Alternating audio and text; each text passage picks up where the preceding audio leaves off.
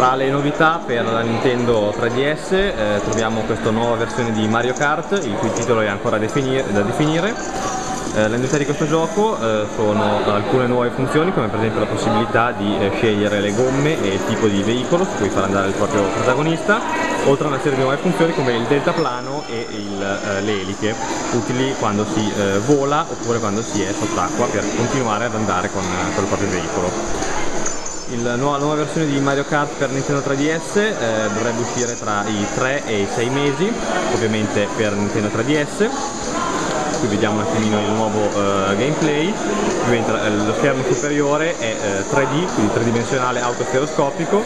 quindi non necessita di occhialini per uh, godere dell'effetto tridimensionale, mentre lo schermo inferiore è, un, è uno schermo touchscreen su cui possiamo vedere nuove, altre funzioni, altre viste del, del gioco.